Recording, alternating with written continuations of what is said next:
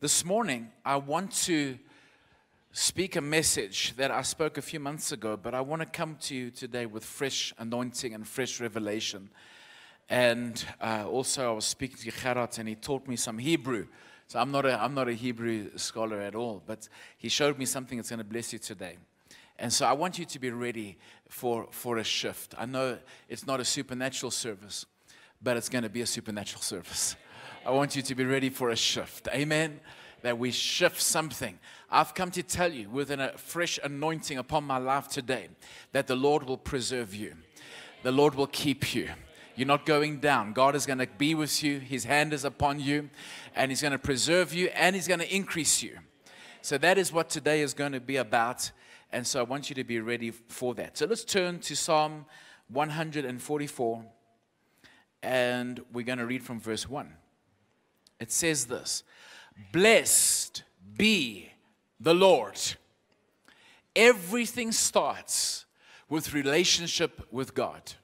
And this psalm also ends with the Lord. It says this Happy are the people whose God is the Lord.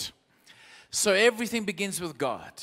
Uh, in Bible language, He is what we call the Alpha, that is the beginning and the end. Omega, Alpha and Omega, beginning and the end. I want to say this to you today that prosperity follows relationship with God. Blessing follows relationship with God. When we put God first, there's something about it. He lifts us up, He upholds us, He strengthens us. Blessed be the Lord. I want to say we must praise Him. In the valley, we praise Him. In the fire, we praise Him. No matter what's happening in your life, I want to say the Lord is worthy to be praised. The Lord is blessed beyond measure. Amen. That's who He is. He is great. He is mighty. He is awesome. It says, Blessed is the man whose God is the Lord. There, there are many different gods. Some people, money is a God. For some people, their job is their God. For some people, there's an idol is their God. But the Bible says, Blessed is the man whose God is the Lord. Because the Lord is faithful and the Lord is good and the Lord is mighty and his arm is not short that he cannot deliver you. He is wonderful and he loves you today and he wants to preserve you. And I pray the Lord will show himself strong in your family. He will show himself strong in your workplace. Hallelujah. Blessed be the Lord. I want you to raise your hands to heaven and just, just begin to bless him. Just say, Lord, I love you today. Thank you for your mercies and your goodness. Thank you for who you are. Lord, I acknowledge you today. I honor you. I love you in Jesus' name. Amen. I love the Lord's Prayer because it, it says this all glory and all honor belongs to Him. Amen. When you put God first, above your life. Uh, we put him first because this is not about a man. Everything is above the Lord, is about the Lord. When you wake up in the morning, praise the name of the Lord. When you make a decision, make a decision with the Lord in mind. I love the scripture because the Bible says, I know your thoughts from afar. Even our thinking, the Lord knows. So when you when you're walking down the street, honor the Lord with your thoughts. Put him first in everything. When God is first, he will lift you up. Honor him. Blessed be the Lord. Blessed be the Lord. I honor him with every decision. I honor him in my relationships. I honor him with my thoughts. I honor him with my giving. Blessed be the Lord. Everything is for him. When God is number one in your life, you will discover that God's hand is mighty to deliver. When God is number one in your life, you'll discover God's hand is mighty to lift you up. Amen. Above everything else, He is the Lord. Do you know what the Lord means? When you say Lord, you're saying, Lord, I am subject to you. Lord, your, your voice has authority in my life. I put you first. Amen? That's what it means. Blessed be the Lord. Now, look what it says here in verse 1 Blessed be the Lord, my rock. Did you know that the Lord is a strength? He is your rock. God is not jelly that he should wobble. God doesn't wobble, He's your rock. He is the same yesterday, today, and forever. And you know what? He's never changed his mind concerning you. God has not changed his mind. He still has you on his mind. Blessing is still on his mind. Goodness is still on his mind. Faithfulness is still on his mind. Blessed be the Lord, my rock. Do you know what that rock means? It means he is your anchor. Have you ever seen those storms on TV or on YouTube? You see those massive storms that come into these coastal cities.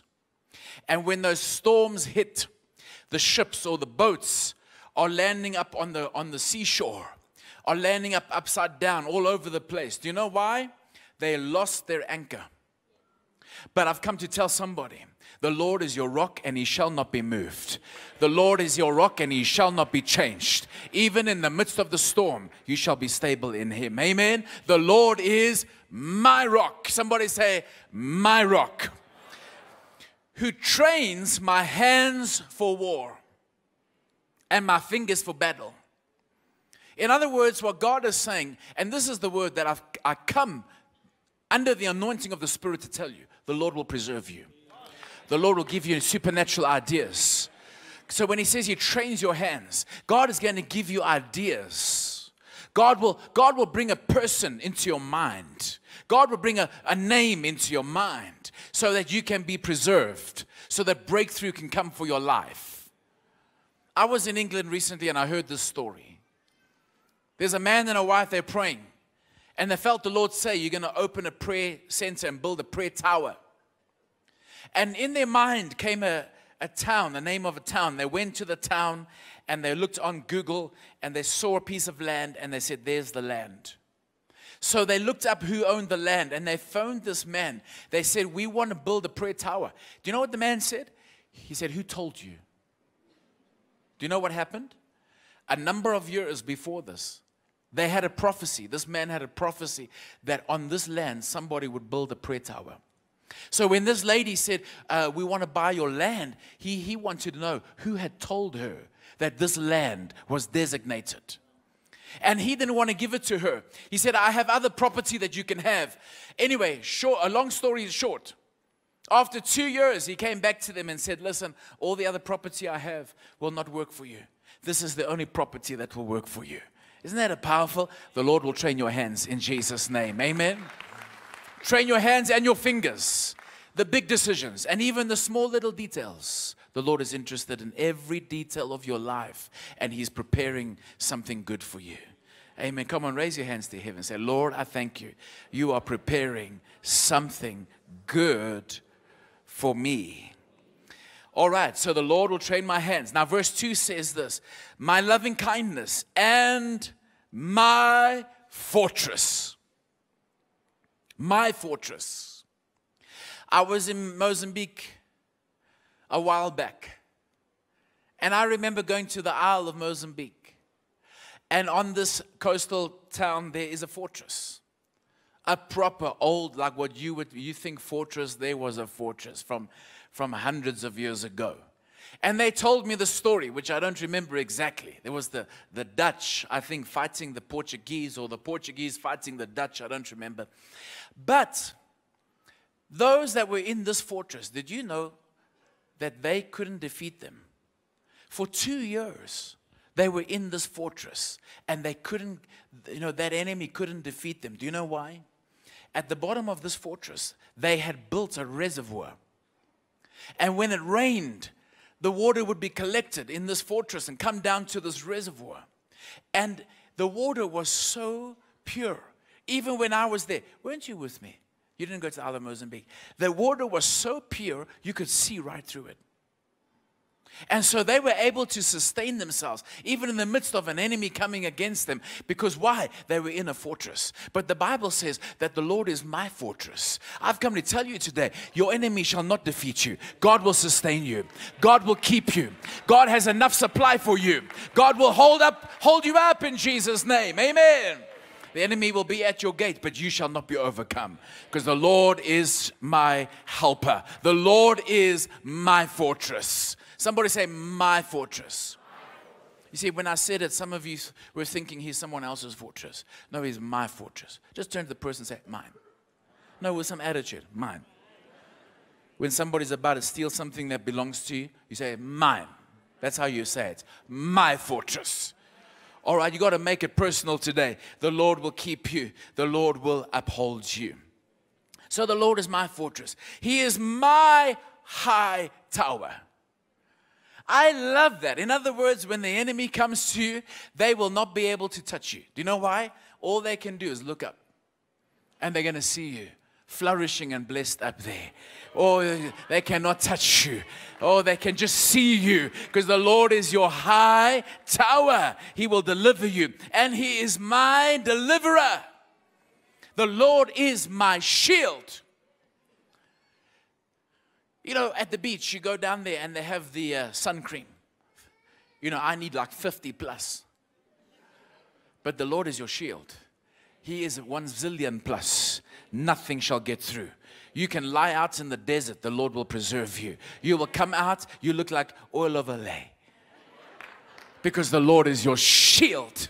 No dart shall be able to get through. No enemy shall be able to get through. You're going to be um, upheld in the name of Jesus. That I declare it over this church. Amen. The Lord is my shield and the one in whom I take refuge, who subdues my people under me.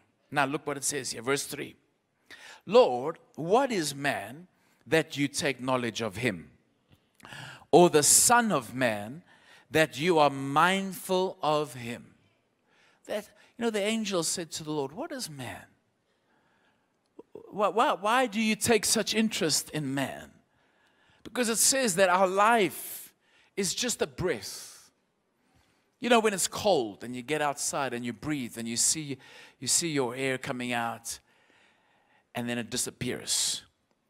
So the Bible says, compared to eternity, my life, your life, is like that breath. And it's gone. So the angels say, What is man, Lord, that you are, you are so mindful of him? Now, Psalm 8, verse 4 says the same thing. What is man that you are mindful of him? And this is what is so powerful today. The word mindful means zakar. Everybody says zakar. Zakar. Now, the Hebrew language is interesting because every letter also has a name. So, in the Hebrew, in the Hebrew language, uh, every letter has its own name, letters. And the first letter for Zakar is Zayin. Now, listen to this carefully. Zayin, when you look at the letter Zayin, and I should have had a picture for you on the screen, but basically, it looks like a T. If you just take the letter T, and instead of having a straight line at the top of the T, it's kind of, it's kind of got an angle to it. And this letter means sword. Zayin. Sword. And the second letter is also very important. Um, it means palm, palm of a hand.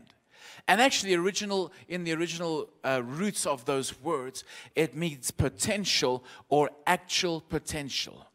And what it means is this that God is fighting for your potential. And his palm is towards you. In other words, he's fighting for your blessing. Thank you for those three amens. The Lord is fighting for your potential. All right, that's what it means. So when it says the Lord is in remembrance of you, He is thinking of ways of how He can fight for you. He is thinking of ways how He can defend you. God is thinking of ways of how He can bring about His blessing in your life. What is man that you are mindful of Him? You see, before, before you were created, God had something in mind for you. Your actual destiny was locked up in God. And so, right now, God is thinking of ways of how He can fight for that potential to come into existence. Wow. What is man that you are mindful of him? The Lord is thinking about every single one of you right now. Every trial, every desert you might be in, every problem you might be in, God is thinking of a way to bless you. Isn't that powerful? So, what is man that you are mindful of him? Or the Son of Man that you think upon him. And then verse 4 says, Man is like a breath, his days are like a passing shadow. Now, look what it says Bow down, you, your heavens, O Lord, and come down. Touch the mountains, and they shall smoke. In the Bible, mountains speak of kingdoms and authorities, powers. But when the Lord comes to fight for you, he will touch those powers. He will touch those kingdoms. And it says they shall smoke. In other words, they shall burn before you. So touch them, Lord. Come down, flash forth lightning and scatter them. Shoot out your arrows and destroy them. Stretch out your hand from above and rescue me and deliver me, Lord, from these great waters that I'm in. So there you see the, the hand of the Lord fighting for you. He has his sword outstretched towards you to deliver you and to keep you. Hallelujah. He will open the heavens and fight for you. He will touch the mountains and destroy them for you. He will shoot arrows for you to protect you and to keep you. You shall not fail. I've come to tell you today the Lord shall preserve you, the Lord shall keep you, the Lord shall uphold you. You shall not fail. Do you hear me? This is the power of the Lord God Almighty. He says, I'm fighting for you and I'm thinking about you. You can go to bed tonight knowing the Lord is still thinking about you. Thank you, Lord. Rescue me, deliver me, Lord. And verse 8 says, Deliver me from those whose mouth speak lying words and whose right hand is a right hand of falsehood. God's going to deliver you from people that are speaking negatively about you at work. They didn't give you the credit that was due to your name.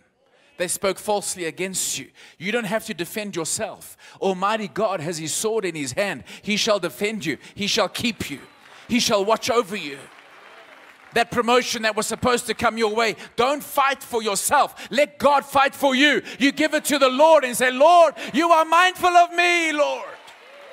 Break through and help me. See, when we say, Blessed be the Lord, what you're saying is, I live a life of faith. I live a life of trust in God, who is my deliverer, who is my fortress, who is my mighty tower. You don't have to fight yourself. You see, the moment you begin to defend yourself, you take the Lord's hand away. You say, Lord, you're not fighting for me. I will fight my own battles. But there's a song that we sing in this church. You know what it says? God is fighting for us, pushing back the.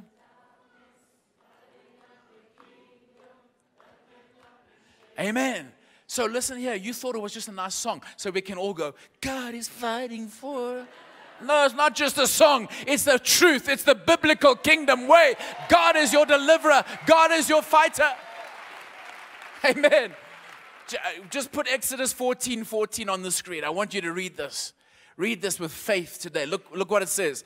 Read it with me. The Lord will fight for you, and you shall hold your peace. Can somebody just praise the Lord right now? Come on, the Lord, the Lord, the Lord, the Lord will, the Lord will fight for you. And you'll hold your peace. You're just gonna hold your peace. You're gonna just say, It's fine. You go ahead because the Lord is about to defend me. The Lord is about to promote me. I will hold my peace. The Lord will defend me. Hallelujah. Thank you, Jesus. Amen. Now, I want to say this to you. That first part of this, this whole passage was about the Lord preserving us. Preserving us. But God doesn't want to just preserve us, God wants to multiply us. I was saying to our staff this week, I don't want to just be preserved. Preserved means you just, you know, you just made it. Everyone else around you is dead, but you just made it. You look dead, but you're not dead. You,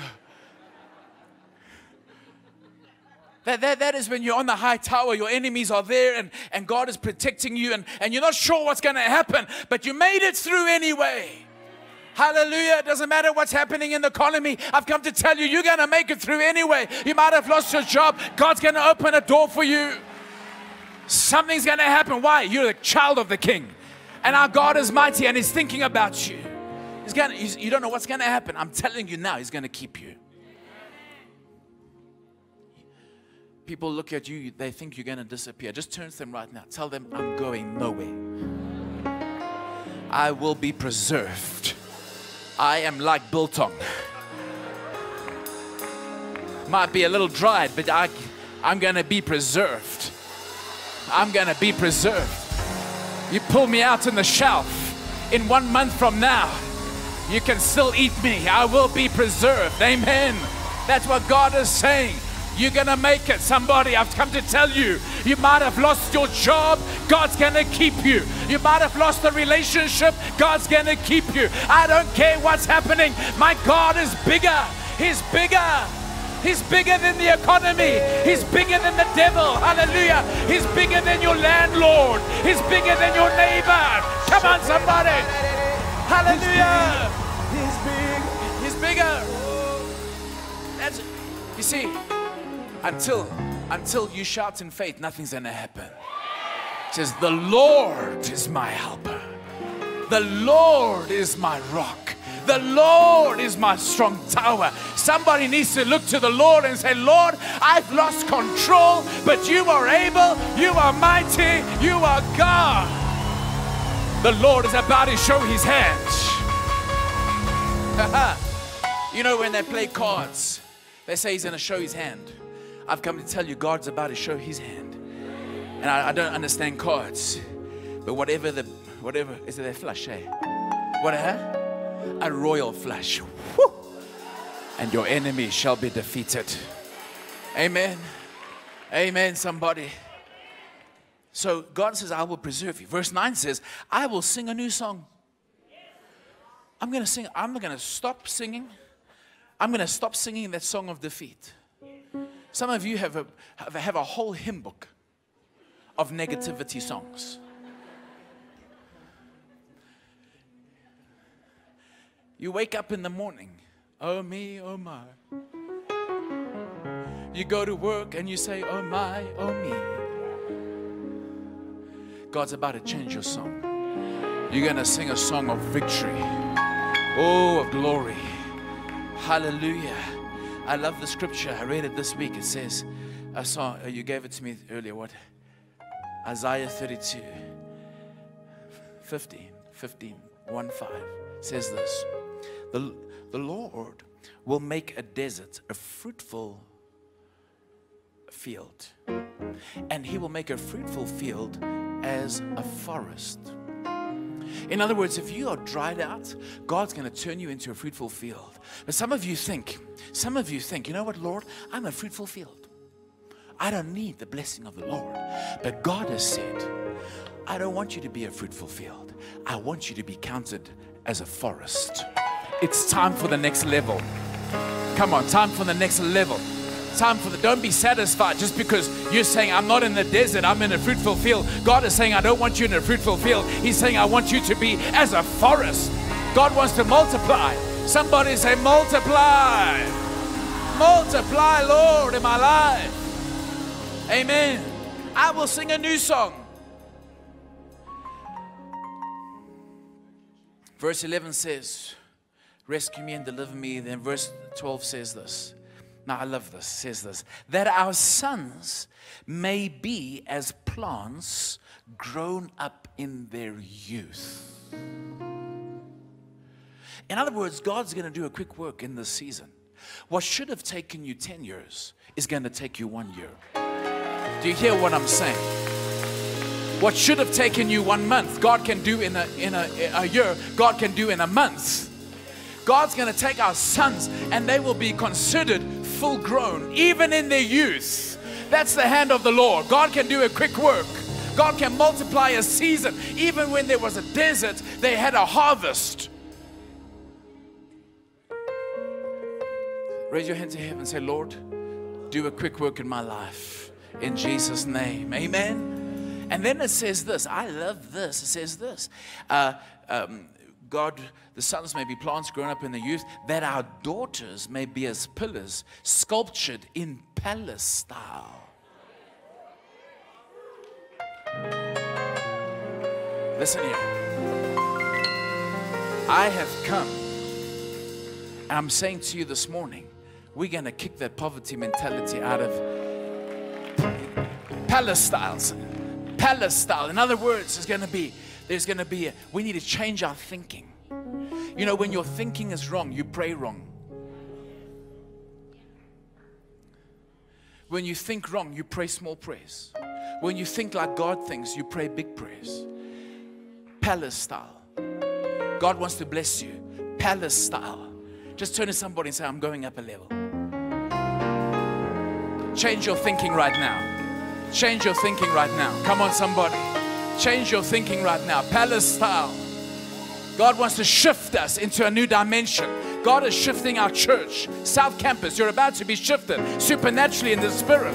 Anybody that's ready right now in this room, I'm telling you now, God can shift you. You can resist it, but some people are going to be shifted right now. Palace style, a breakthrough, an open door. Our daughters shall be blessed. And then the shift comes in the whole passage. Because, you know, God says, I don't want to just preserve you, I want to increase you.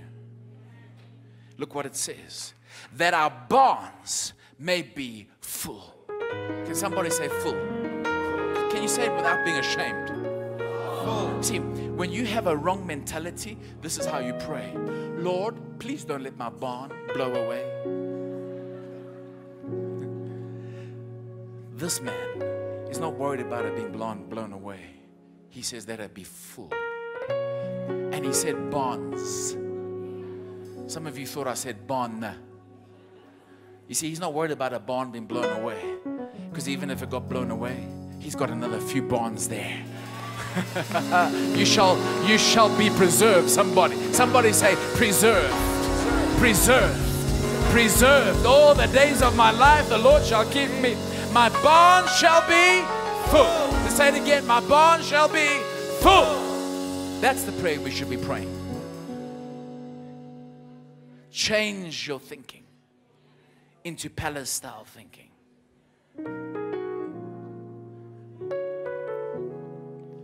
Your barn shall be full. You're not going to be retrenched, you're going to be promoted. Change your thinking. Somebody, change your thinking. Amen. Your barns shall be full. Now, some of you are getting upset with me, but I want to tell you it's about to get better. Oh, yes, that was just the beginning the barn shall be full, supplying all kinds of produce. In other words, God's going to open different streams for you of income. God's going to give you new ideas, new products. People are going to, you're not going to look for a job, people are going to come looking for you. Amen, somebody. All kinds, all kinds. Your barn shall be full, all kinds of produce. And then I love this that our sheep may bring forth thousands. Isn't that powerful? Listen, some of you are praying for your lamb. You said, Lord, just keep my little lamb, preserve my lamb. Don't let my lamb die. Maybe that's one of the songs you wrote. Don't let it die, Lord, this little lamb. Don't let it die. But God's about to shift us. You're not going to pray for your lamb. You're going to pray for thousands. But I love this man. I love him because he prays this massive prayer and he realizes he didn't pray as a king. He says, Lord, that there be thousands. And then he says, No, ten thousands. Ten thousands. Ten thousands. Ten thousands in our fields, that our oxen may be well laden. Do you know what that means? Heavy. Do you know what another word for heavy is? Loaded. Just turn to the person next to you and tell them, I'm loaded. I'm heavy. In other words, you, you're, you know, you're, you're not going to have your oxen come in skipping so skinny. It's going to be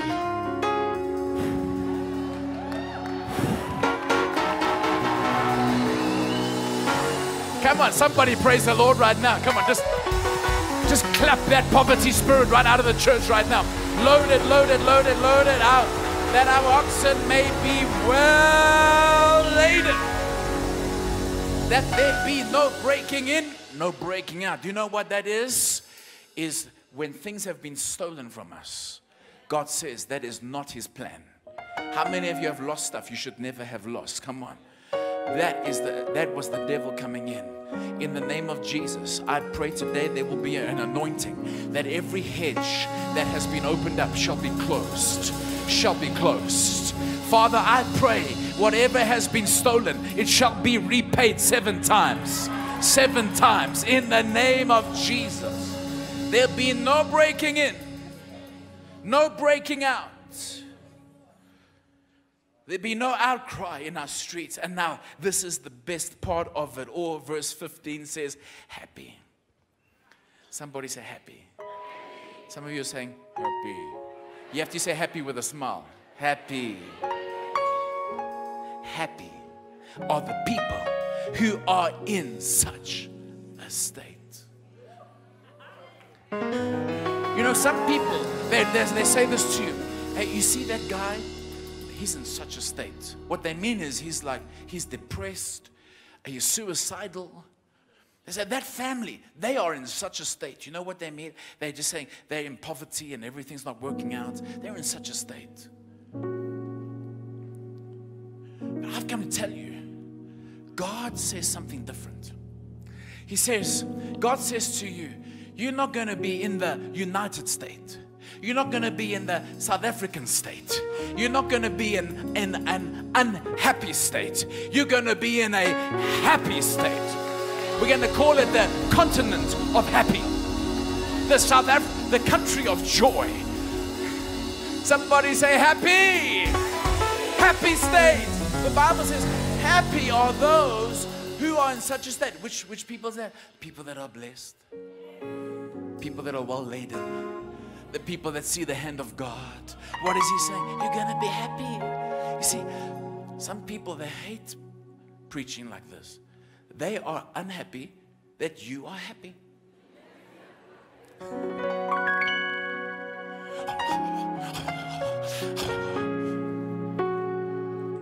Know what? I want to say this to you. I didn't put this in the Bible. God put this in the Bible so we can understand who the Lord is.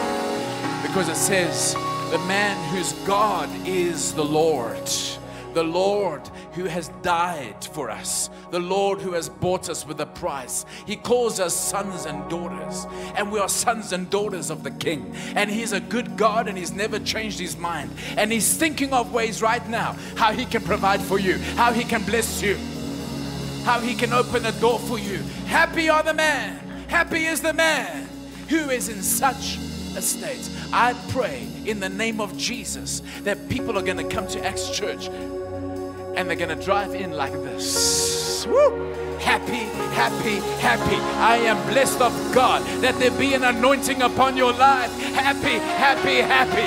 In your family, happy. In your marriage, happy. In your children, happy. In your workplace, happy. Why? The Lord God is fighting for you. He's fighting for you. I want you today to, to say to God, Lord, if this is true, I want what you've promised for my life. I'm going to declare it over my life. I'm going to prophesy over my life. I'm going to speak it over my life.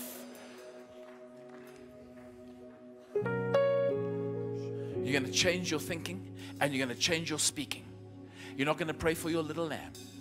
You're going to pray for your thousands. The thousands. Lord, I prospered.